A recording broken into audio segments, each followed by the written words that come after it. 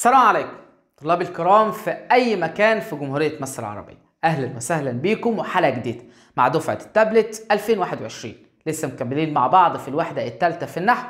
بعد ما خلصنا أحكام المبتدأ والخبر وخلصنا كمان المبتدأ والخبر وخلصنا كان وأخواتها في بداية الأفعال الناسخة ومعانا النهاردة كاد وأخواتها. كاد وأخواتها. مين هي كاد وأخواتها يا شباب؟ بمنتهى البساطة. هي كاد وأخواتها أو تسمى بمسمى آخر بنسميها أفعال المقاربة وبنسميها أفعال الرجاء وبنسميها أفعال الشروع إذا هي كاد وأخواتها أو أفعال المقاربة والرجاء والشروع من هي هذه الأفعال؟ الأفعال دي بمنتهى البساطة هو الفعل كاد هو الفعل قرب هو الفعل أوشك يبقى مين يا شباب؟ كاد قرب أوشك أما أفعال الرجاء فهي الفعل عسى والفعل حرى. وأخيرا عندي كلمة أخلولقة يبقى عسى حرى أخلولقة طيب أفعال الشروع من هي؟ أولا عندي الفعل بدأ عندي الفعل أخذ عندي الفعل اتفق عندي الفعل شرع عندي الفعل جعل عندي الفعل أنشأ. يبقى هنا مين عندي يا شباب؟ عندي بدأ أخذ اتفق شرع أنشأ إلى آخره من أفعال الشروع اللي أنا مش هقدر أعدها كده بعد مين؟ بعد معين وكلها تدل على البدء في العمل. مين الدلالة بتاعت الأفعال اللي قصاد دي؟ أولا إحنا سميناها بأفعال المقاربة أو سميت بأفعال المقاربة لأنها تدل على اقتراب الحدث. هقول لك كاد الطالب يرسب، لا هو ما رسبش وما صيدش ولا حاجة. ولكن هو كان قريبا جدا من الرسوب أوشك الإناء يسقط. هو ما سقطش ولكن كان قريب جدا منين؟ من السقوط. أفعال الرجاء تدل على تمني حدوث الفعل. هقول لك عسى الأمة أن تنهض. يبقى أنا بتمنى أن الأمة تنهض. حرى الأمة أن تتحرك. أنا بتمنى أن الأمة تتحرك. أما أفعال الشروع فهي تدل على البدء في العمل. بدأ المعلم يشرح. يبقى هنا بدأ المعلم يشرح يعني بداية المعلم في الشرح. طفق المعلم يشرح. شرع المعلم يشرح. أخذ المعلم يشرح. إذا كلها تدل على البدء فين؟ تدل على البدء في الفعل. تدل على البدء فين؟ في الفعل. ده بالنسبة لدلالة هذه من هذه الأفعال. طيب الأفعال دي مالها يا جماعة؟ هذه الأفعال تعمل. ركز معايا كده. عمل كان وأخواتها. بتعمل عمل مين؟ كان واخواتها ترفع المبتدأ ويسمى اسمها وتنصب الخبر ويسمى خبرها. واحد يقول لي طب ما أنا كنت أريح نفسي وأخليها مع كان أقول لك لا يا حدك ليه بقى؟ لأن هذه الأفعال لا بد ركز معايا بقى لا بد لخبرها أن يكون جملة فعلية فعلها آه مضارع. لازم الخبر بتاعها يكون جملة فعلية فعلها مضارع. فهقول لك كاد الطالب يجتهد. إذا كلمة الطالب هنا اسم كاد مرفوع علامة رفع الضمة طب يجتهد ها فعل مضارع مرفوع علامة رفع الضمة اوعى تقول خبر. تمام؟ يبقى هنا يجتهد فعل مضارع مرفوع علامة رفع الضمة والفاعل ضمير مستتر تقديره هو والجملة الفعلية في محل نصب خبر مين؟ خبر كاد أو هقول لك مثلا أوشك ها العلم ها أن يظهر. يلا معايا واحدة واحدة. أوشك فعل ماضي. العلم اسم أوشك مرفوع علامة رفع الضمة. أن أداة نصب. يظهر فعل مضارع منصوب علامة نصبه الفتحة والجملة الفعلية أن يظهر في محل نصب خبر أو شكا. وهنا هقول لك احذر هقول لك إيه؟ احذر. احذر منين؟ من أنت تقول لي أنت عارف إن المصدر المؤول بيتكون من أن والفعل المضارع. ولكن أن والفعل المضارع في كاد وأخواتها ليست مصدرا مؤولا. يبقى أن والفعل المضارع في كاد وأخواتها ليست مصدرا مؤولا. يجيب لك مصدر م... أو مصدرين يجيب لك كلمتين في بيت شعر مثلا. فيجيب لك واحدة منهم مع أن والفعل المضارع وواحدة منهم مع ما والفعل الماضي. في نفس البيت ويقول لك استخرج المصدر المؤول. تجري أنت يا شاطر تطلع أن والفعل المضارع ولكن المتصلة بخبر مين؟ بخبر كاد لا أن والمضارع في خبر كاد ليست مصدرا مؤولا. وهقول لك السبب بمنتهى البساطة. إحنا بنقول في المصدر المؤول إن هو يصح أن يحل محل المصدر الصريح. يعني لما بقول لك يسرني أن تجتهد ينفع أقول يسرني اجتهادك. فلو أنا اعتبرت إن ان والمضارع في كاد وأخواتها مصدرا مؤولا اذا أنا بقول لك إن ينفع يحل محلها المصدر الصريح. يبقى كأنك بتقول إيه؟ ينفع يحل محلها المصدر الصريح.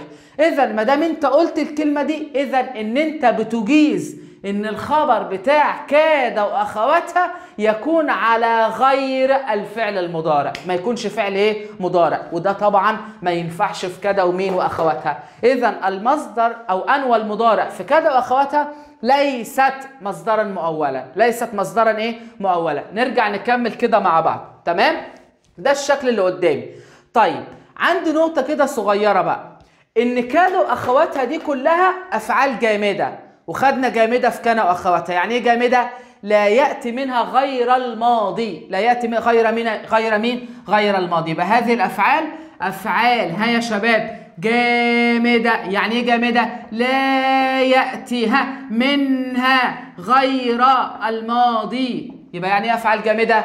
لا يأتي منها غير مين؟ غير الماضي. ما عدا كادها وأوشك. ما عدا كده وإيه؟ وأوشك. مالهم دول يا شباب؟ قد يأتي منهما المضارع. فينفع يكاد وينفع يوشك فيقول لك مثلا يكاد الطالب يجتهد. خلاص خلصت. يبقى الطالب هنا إيه؟ اسم يكاد. يوشك الطالب يجتهد. آه اذا أنا فهمت أنا بقول لك كل الأفعال دي أفعال جامدة. ما عدا كده واوشك يروح ضحك عليك بقى. يقول لك بدأ الطالب يكتب. يبدأ ها الطالب ها يكتب. آه إيه اللي حصل هنا؟ هنا قال لي إيه؟ بدأ بدأ الطالب يكتب. اذا كلمة الطالب هنا اسم بدأ مرفوع علامة رفع الضم.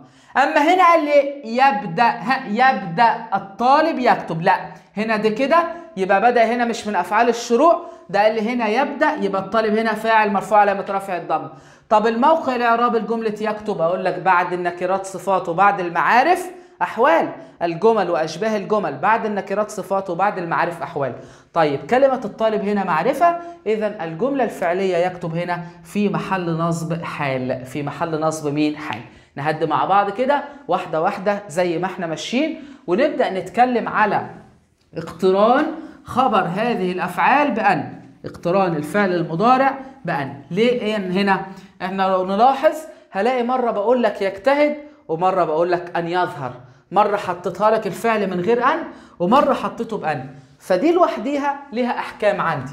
فهنبدأ نتكلم على أحكام اقتران خبر أو أحكام اقتران خبر أن بمين؟ خبر كاد واخواتها بأن. يعني إمتى يقترن بأن وإمتى لا يقترن بأن؟ هنقسم مع بعض كده تقسيمة صغيرة. هاخد هنا كلمة كاد وهاخد هنا كلمة قرب في الناحية اللي على اليمين كده من فوق. وهاخد لك هنا كلمة أوشك وهاخد لك معاها كلمة عسى. وهاجي هنا هاخد معايا كلمة حرى وهاخد كمان كلمة اخلولقه وأفعال الشروع كلها هحطها في الناحية دي. فهقول لك إن في كاد وقرب يقل اقتران خبرهم بأن. يعني ينفع إن يقترن خبرهم بأن وينفع ما يقترنش خبرهم بأن. ولكن قليل لما الخبر بتاعهم يكون مقترنا بأن. فينفع أقول كاد الطالب يجتهد وينفع أقول كاد الطالب أن يجتهد. ولكن قليل اقتران الخبر بان. أكتر حالات كاد وقرب بنلاقيها في اللغة العربية غير مقترنة بان. أما كلمة أوشك وعسى فهذه الأفعال يكثر اقتران خبرها بان. يبقى هنا كاد وقرب شبه بعضها في أول حرفين يبقى يقل. أوشك وعسى مختلفين شوية هاخد معاهم يكثر. فينفع أقول عسى الطالب أن يجتهد وينفع أقول عسى الطالب يجتهد. ولكن الكتير عندي أن يقترن خبر هذه الأفعال بأن بعد كده عندي كلمة حرى وأخلولقة فهذه الأفعال يجب ها اقتران خبرها بأن. يجي يقول لك صوب الخطأ. حرى الطالب يجتهد. أقول له غلط. حرى الطالب أن يجتهد. تمام كده يا شباب؟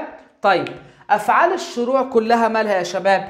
يمتنع. مالها أفعال الشروع؟ يمتنع اقتران خبرها بان. يعني ما ينفعش يقترن خبرها بان. يجي يقول لك أخذ أخذ الطالب أن يكتب. أقول له غلط. أخذ الطالب يكتب. ليه؟ لأن أفعال الشروع يمتنع اقتران خبرها بان. يبقى كاد وقرب. يقل اقتران خبرها بان؟ أو شك وعسى. يكثر اقتران خبرها بأن حرى وأخلولقة يجب اقتران خبرها بأن. أما أفعال الشروع كلها فيمتنع اقتران خبرها بأن. يبقى إحنا كده اتكلمنا عن أفعال المقاربة اتكلمنا عن أفعال الرجاء اتكلمنا عن أفعال الشروع. هقول لك ملحوظة كده بالنسبة لنا في منتهى منتهى منتهى الأهمية إن أنا عندي أفعال الشروع تحديدا قد تأتي أفعالا تامة. يعني إيه أفعال تامة؟ يعني يأتي بعدها فاعل. خدنا مثال من شوية لما قلنا مثلا يبدأ الطالب بس ده طبعا مش هتكلم عنه. إمتى إمتى بقى بالكلام دوت لما يجي في الخبر بتاعها أي حاجة غير الفعل المضارع. يعني إيه؟ هقول لك دلوقتي مثلا شوف معايا. بدأ الطالب ها يكتب. اذا الطالب هنا اسم بدأ يكتب فعل مضارع والجملة الفعلية في محل نصب خبر مين بدأ؟ طب يقول لي بدأ ها الطالب الكتابة. هل هنا في فعل مضارع؟ لا مفيش فعل مضارع. إذا كلمة الطالب بدأ هنا فعل تام وليس فعلا ناقصا بدأ هنا فعل ناقص. أما بدأ هنا فعل تام فكلمة الطالب هنا فاعل مرفوع علامة رفع الضمة والكتابة مفعول به منصوب وعلامة نصبه الفتحة. هيقول لك مثلا أخذ المعلم ها يشرح. إذا المعلم هنا اسم أخذ مرفوع علامة رفع الضمة يشرح فعل مضارع والجملة الفعلية خبر أخذ. طب هيقول لك مثلا أخذ المعلم تمام؟ كتابه. لا ما ينفعش الكلام دوت يبقى كلمة معلم هنا فاعل مرفوع علامة رفع الضمة وكتابه هنا مفعول به منصوب وعلامة نصبه الفتحة. وبكده وصلنا لنهاية كاد وأخواتها. يا رب نكون بنستفاد ولو حتى بحاجة صغيرة. ما ننساش نشترك في القناة ونفعل الجرس ونسيب تعليق بأي حاجة إحنا عايزينها. وصلنا للنهاية. سبحانك اللهم وبحمدك. أشهد أن لا إله إلا أنت. أستغفرك وأتوب إليك. والسلام عليكم ورحمة الله وبركاته.